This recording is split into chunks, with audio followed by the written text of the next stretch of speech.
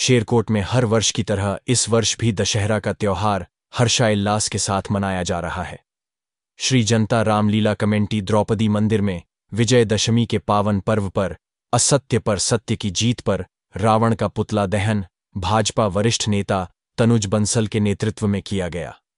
इस दौरान भाजपा वरिष्ठ नेता राजवीर सिंह गहलोत, सतीश चौहान, शशिकांत शर्मा, सुशील चौहान उर्फ़ टैटू, देशबंधु चौहान शेरकोट नगर पालिका परिषद सभासद विपिन सिंह, गन्ना समिति धामपुर डायरेक्टर रणजीत सिंह दारा, कमेटी अध्यक्ष मुकेश रस्तोगी, महामंत्री राकेश रूहेला, संरक्षक अभिष रस्तोगी बोनी, समस्त हिंदू समाज के लोग मौजूद रहे।